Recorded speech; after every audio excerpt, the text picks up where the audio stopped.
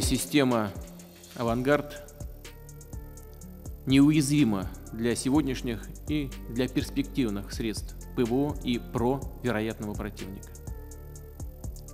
Это большой успех и большая победа.